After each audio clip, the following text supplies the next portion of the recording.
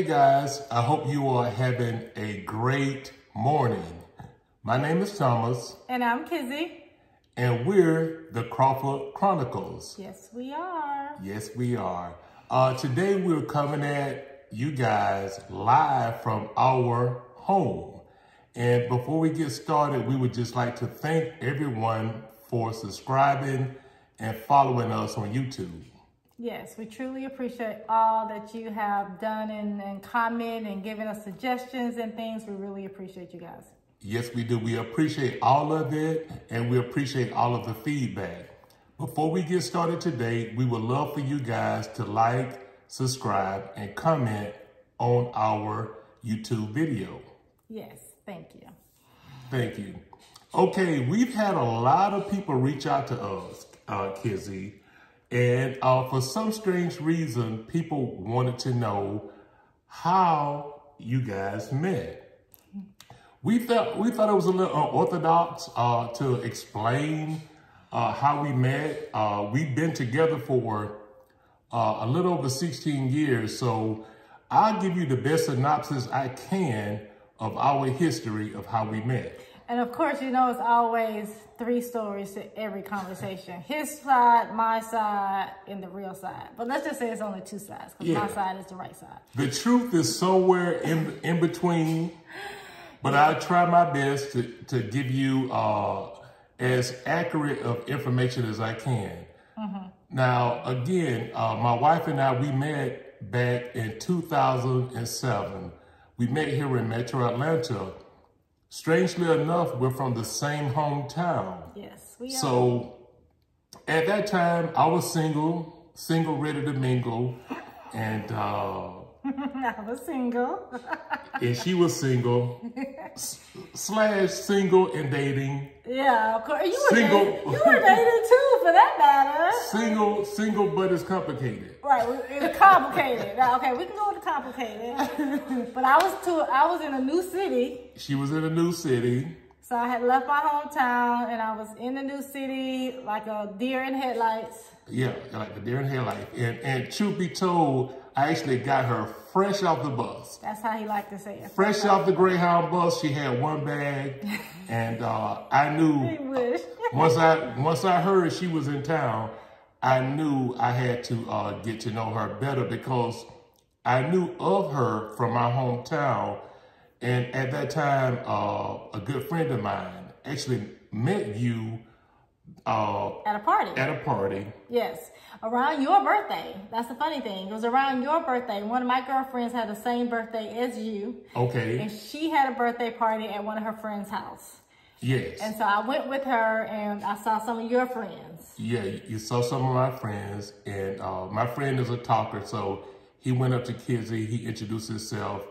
And uh, Found out all the information. Found out all the information. Yeah. And believe it or not, he called me the next day telling me, you won't believe, you know, Kizzie from your hometown. She's just moved to Atlanta.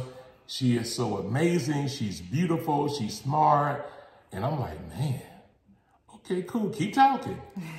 and so uh, eventually just so happened she was looking for a house at that time. I was looking to buy a house, And a buddy of mine, wife, who was a real estate agent, you mm-hmm. were you were conversing with her. Cause she was from my same hometown as well. Same hometown, and she was conversing with her. So I reached out to my buddy, spoke to his wife, told his wife, I heard Kizzie's in town.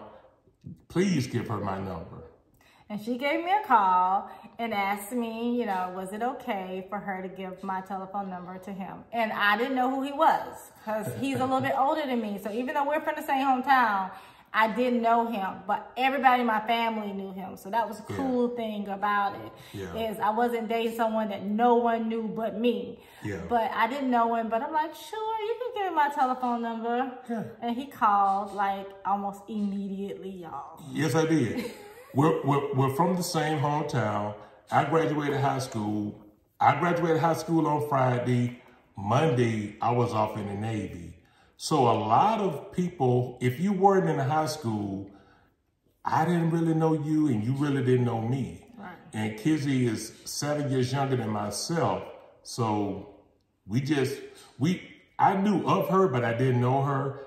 But I knew enough about her to know that she was very smart. I knew that she was very driven. And I knew some of her friends and family who was around my age. So it just made sense for me to uh, reach out to her and want to get to know her better. Okay, guys, well, let me tell you this part. All right. So he called me on that Sunday night and we talked for hours, I think, and we were cool or whatever. Scheduled to go. Uh, no, we just talked that night. Um, Tuesday, Monday came. Tuesday came, which was his actual birthday. Yeah. So the birthday weekend was the weekend before. So my girlfriend was selling her birthday early. But his birthday was actually on a Tuesday that week. It was on an odd day. Like it was on a Tuesday or Wednesday. Tuesday, Wednesday. I believe it was on Tuesday though. So we talked on Sunday, and um, I ended up. I was in college at the time getting my master's, and I lost my paper, and I ended up couldn't go to work because I had to recreate the paper. So I called in that Tuesday. After I finished the paper, I called him up. And like, hey, I heard, you know, happy birthday. What, what are you doing for your birthday? And he was like, laying on the couch watching ESPN, which is pretty much one of my favorite pastimes at that time. And I was like, none of your little girlfriends take you out to dinner? I'm like, you ain't doing nothing for your birthday? I know it. And when she called me, um, it's my birthday. I'm laying on the couch watching ESPN. I was fine with just celebrating my birthday, just chilling at home by myself. So when she called and said, I would like to take you out to celebrate your birthday. My first response was, oh, you would like to take me out? So that pretty much means uh, you paying for it. Right, right. So I was game. I was game. I think I had him, guys, when I decided to pay for dinner. I think she thought I was gonna be a sugar mama or something. I was rolling in the dough, whatever. But I, so I took him out. So our relationship started with me initiating the first date and paying for the first date. Yeah, which which for me being a little old school, that was new for me. You know, we're used to always, uh, you know, taking the the woman out. We're used to being the one who actually covers the tab. So it was refreshing for me to find someone who was willing to take me out and cover the tab. So when she just said, you know, would you like to go out? I was putting on my, I was ironing my clothes, getting ready to go. I was, I was game. Mm -hmm. So yeah, so I took you out. Do you remember the name of the restaurant? Was it Ruby Tuesday? I think it was. Um, yeah, it was Tuesdays. It, it wasn't Ruby Tuesdays. It, Ruby? it was Tuesdays. It was Tuesdays. Okay. So because I my I had a young son at the time. He was four and he was in daycare. So I decided to take him to dinner early before I had to pick up my son. So we went to dinner maybe like four o'clock in yeah, the afternoon. Four or five o'clock. Because I think I had to pick him up by 6.30. So we met him at the restaurant about four o'clock and I took him, we went out to dinner and it was really nice. We had a good time. We had a great time.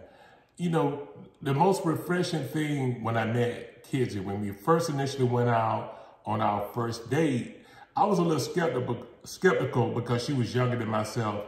And once we sat down and got a chance to get to know each other, I was very impressed on just her, you know, how she carried herself and, you know, what her goals were. She was a very driven person. So I knew, I already knew a little bit about her. I knew where she was from. I knew her family. So I wanted to get to know her better. Yeah.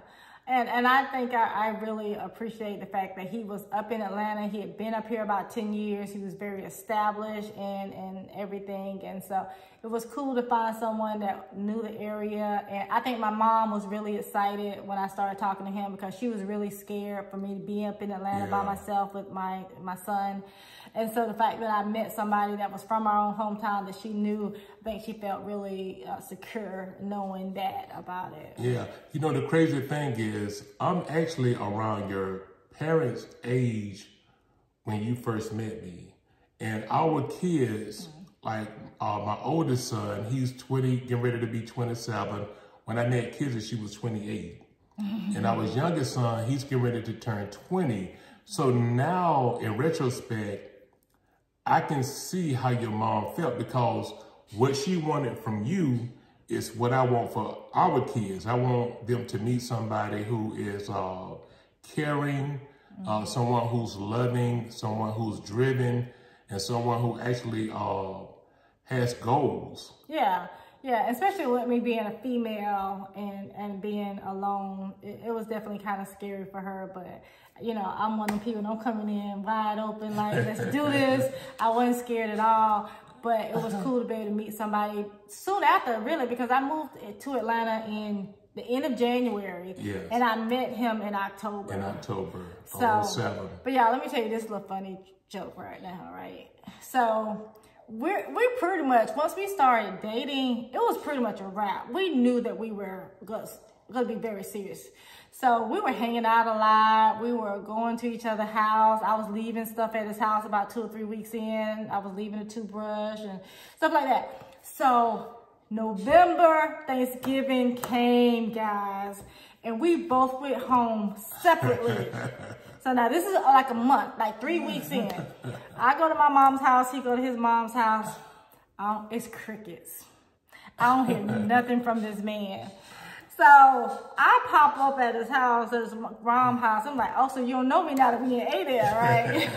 he was good when he was in Atlanta, but you don't know. He's like, it's just three weeks. You act like we, but he know that we was like really chilling hard in Atlanta. But he act like he don't know me when we get back. Listen, guys, you know, I'm a mama's boy. So all the men out there who are mother's boys, you guys understand, like, when you go home, you have to spend that time with Big Mama. He do.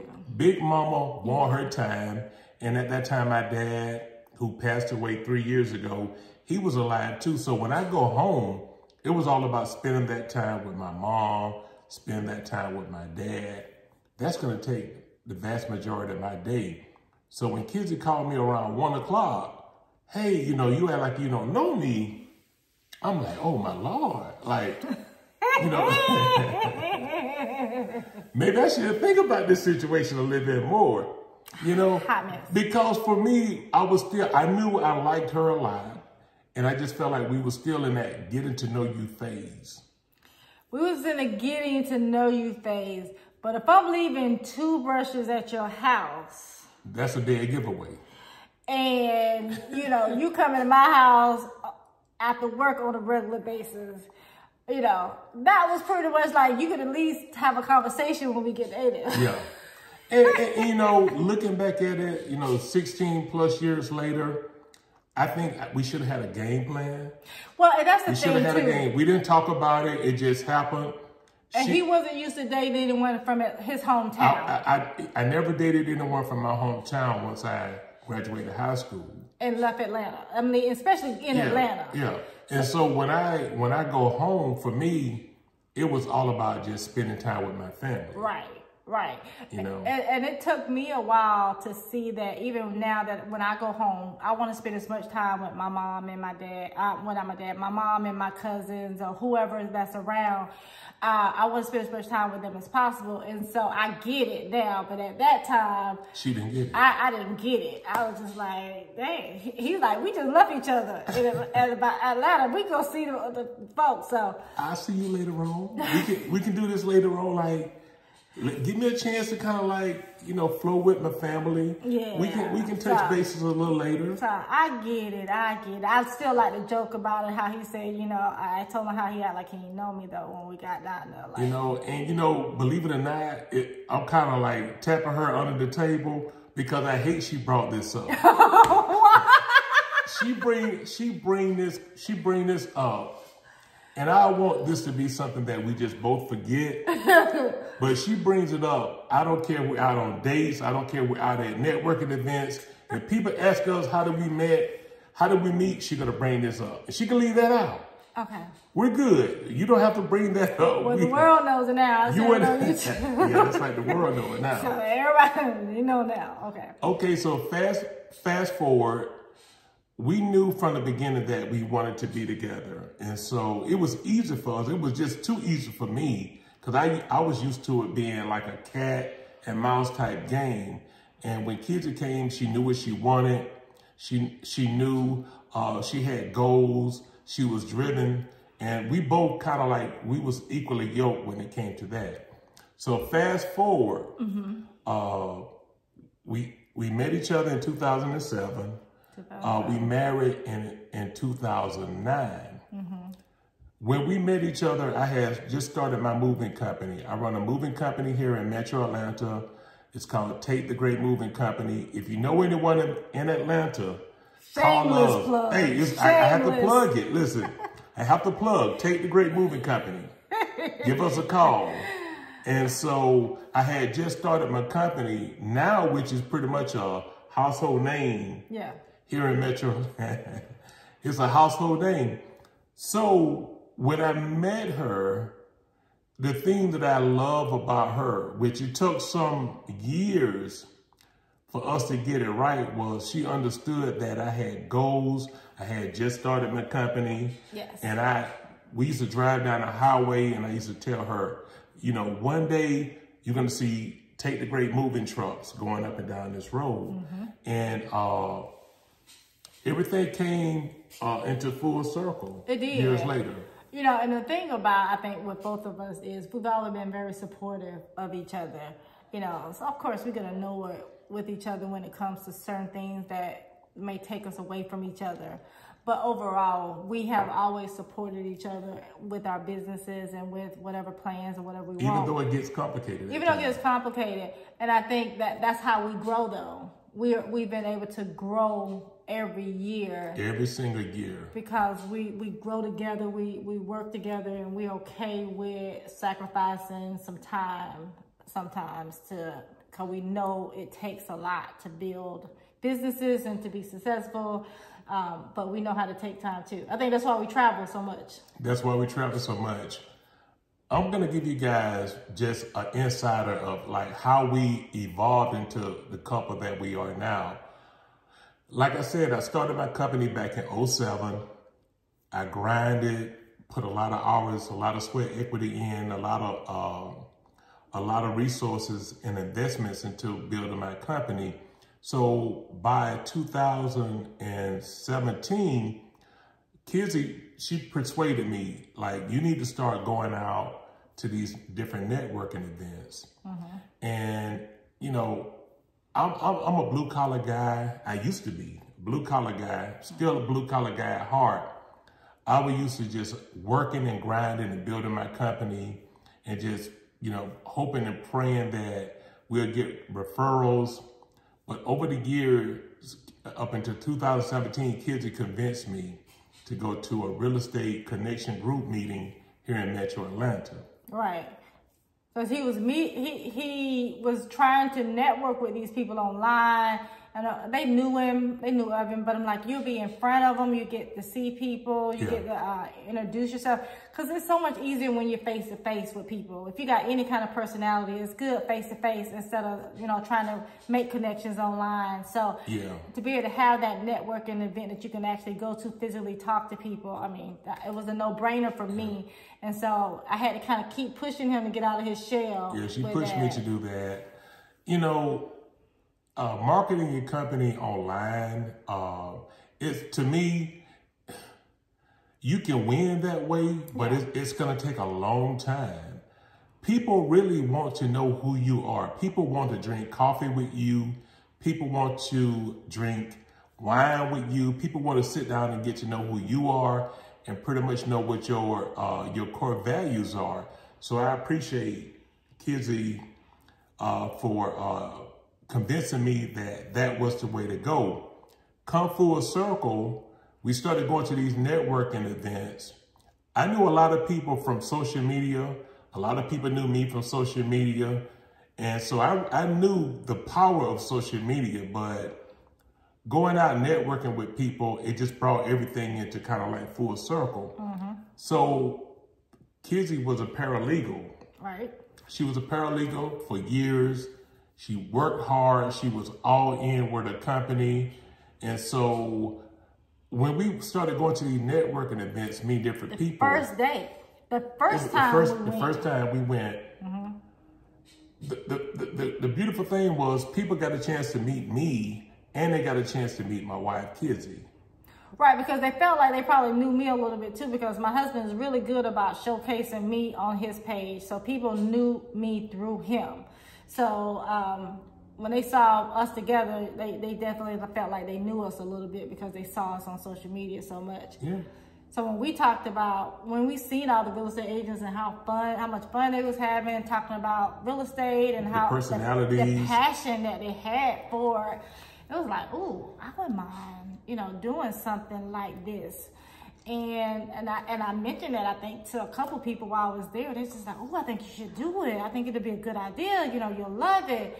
And literally after I left there, that was in January. I think I ordered the book, uh, or maybe it was That night or the next day, she ordered the book. yeah, I, I, I went online and, and got the class, and, and and two weeks later, I actually started taking the class online. So I pushed him to do something to get him out of his comfort zone, and in turn, it pushed me into a whole nother career. So Yeah. You know, Yeah. when we walked out of the first networking event, I knew that's something I wanted to be a part of on a monthly basis. And I just suggested to Kizzie, I'm like, you know what? You're, you're smart, you're talented, you're beautiful, you love people. Uh, I, I really feel like you would be uh, very successful as a real estate agent. Yeah. And that was the first time I, I I knew somebody who was a real estate agent from um, some years before, um, and we used real estate agents to buy our house. But I never had been in an environment to see people talk about it so passionately and so excitedly. And so after I saw that, I'm like, this is like a whole new world right here. This is a whole new community of people that uh, I would love to be a part of. So uh, I was looking forward to joining the circle of real estate agents after that. Yeah. So, you know, looking at, you know, thinking about this, our conversation now, I think this video should be more about getting out of your comfort zone and pursuing your dreams. And also, I think it should be about speaking life into your partners. Right. I never looked at like competing with my wife. To me, if if my wife is winning, I'm winning. So she's spoken life into me. I speak life into her. When she's winning, we're both winning. So uh, fast forward today, 2023, she's one of the like top real estate agents at Keller Williams in Metro Atlanta. I don't know what I'm supposed to say of that. yes, uh, I'm in the Peachtree City office and uh, definitely in the top percentage of the office, and I love it. The thing is, it's just um, I love every minute of real estate, and so that was one of the best decisions that I could have made, and I appreciate you know him helping me get to that point to realize that it would be a good fit for me. Yeah. And, you know, I think her because she made it she made it easy for me to grow my business. Like I didn't have a lot of drama at home. I didn't have any drama at home. I could just focus on building my my company. And so now that the company has grown and it, it's pretty much self-operating uh, by itself, now I just feel like it's important for me to be there for her, which now I've done that part. Now it's just more of uh, just sitting back, listening to the ins and out of what she go through. But she's pretty much running everything on her own and doing her own thing right now. And she's very successful at it. And Oh, and I think with both of us, we you know we had to put our head down for the first five years, and so and the thing is that I have to be very transparent. I was not as um, uh, what's the word? Understanding as I should have been, because of course when we first get married, I want him to go places with me and do things with me, and so I wasn't as understanding as I could have been. Um, but I did understand what he was doing. Uh, and so good thing is, is I, uh, I did deal with it. And by the time I got to mine, he understood what I was Yeah. dealing with. So even though he may got a little aggravated, he knew for the first five years, I had to do what I had to do she have to do what she have to do. to build a business. And so, and then I understood what he was going through. I can really relate now she can to see it. it now. I can relate to it more. She can see it now because, you know, people always talking about investing your money, but I'm telling you, one of the biggest investments you can make if you're single, I don't care if you're single, dating, or married, one of the biggest investments you can make is your time. Mm-hmm. One of the biggest investments you can make in it is your time.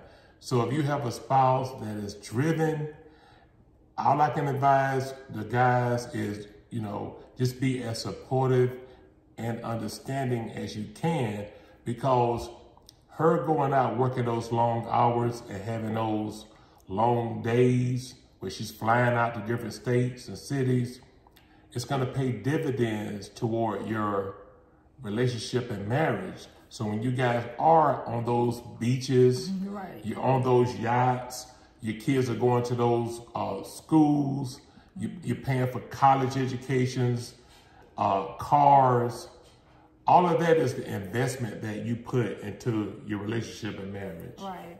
And remember though how hard it was with you. Thomas, because when he first started his business, of course, he still had his full time job. So I don't even understand how my husband did some of the things that he did. He would work all night, come home, maybe sleep an hour, won't even get into bed because he don't have time. He will lay down on the on the floor sometimes and take a nap real quick and then get back up and got to get ready to go do a job. Or sometimes I would have to meet you and, and bring you a shirt. Sometimes you would have to meet So you me. don't have time to come home. Looking at it now, I can honestly say, I hope I never have to do that again. Mm. But I know that when it did happen, it was it happened at perfect timing because, like, not to get all too religious on you guys, but I knew that God put that on me because He knew I could handle it. And all of that was an investment. All of that time was an investment for my future. So for me to have those days where I had only, you know, 30, 45 minutes uh, sleep, I call it a nap. That's a nap, 30, 45 minutes and get up and work for another 20 hours.